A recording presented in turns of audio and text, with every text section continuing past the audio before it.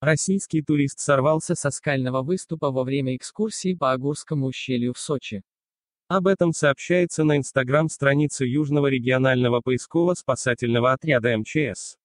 Инцидент произошел во вторник, 14 сентября, однако известно о нем стало только сейчас. 35-летний житель Чебоксар вместе со своей супругой отправились на прогулку по Агурскому ущелью. Отмечается, что турист оступился на тропе и скатился со склона на 15 метров вниз, после чего упал с 5-метрового скалистого выступа. При падении он получил множественные травмы и не смог самостоятельно передвигаться.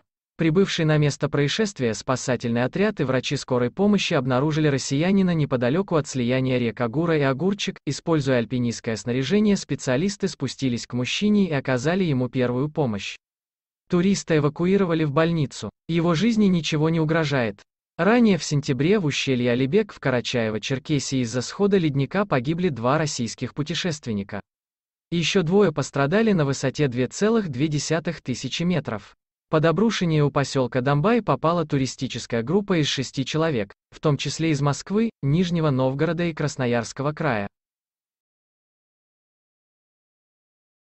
Если видео было вам полезным, пожалуйста поставьте лайк и подпишитесь на наш канал.